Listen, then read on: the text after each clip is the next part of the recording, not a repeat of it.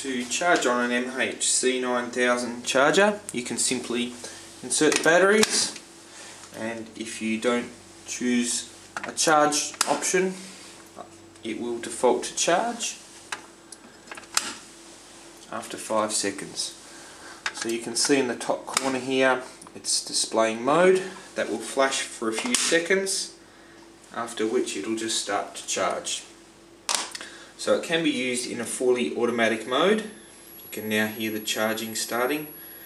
A bit of a high pitched charge sound. It'll default to 1000 milliamps.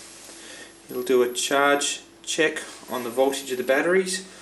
So that's the charge rate, that's the amount of minutes it's been charging. This is the current voltage and that's how many milliamp hours it's added to the batteries.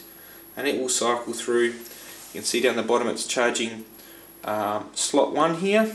It will display the information twice for that slot before it moves on to the next slot. So now we've got 7 milliamp hours, charging at approximately 1000 milliamps, charging for 1 minute, and the current voltage is 1.32 volts.